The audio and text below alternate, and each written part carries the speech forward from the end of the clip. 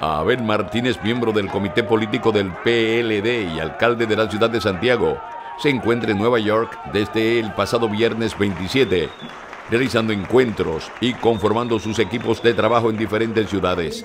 En Manhattan, realizó un encuentro conjunto con miembros del Partido de la Liberación Dominicana del Condado del Bronx, donde ratificó que el gobierno del cambio que preside Luis Abinader va de reversa y que él es un político ganador. Cuenta con el apoyo de diputados, miembros importantes del comité político, del comité central y el ejército morado para ser el próximo presidente de la República en el 2024. Y así el Partido Morado vuelva a controlar el poder y devolver la bonanza al pueblo dominicano.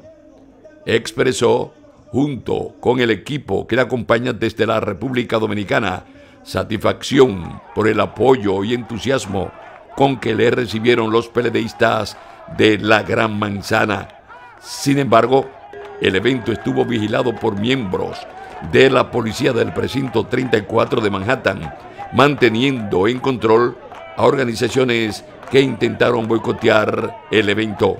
Se ha arrancado con el mejor de los pies, con el pueblo de la efervescencia, del compromiso y del trabajo que empieza hoy de manera contundente con mira hacia el 2024. Y no tengo la menor duda de que esa condición lo va a convertir en el candidato del Partido de la Liberación Dominicana para terciar en las elecciones del 2024.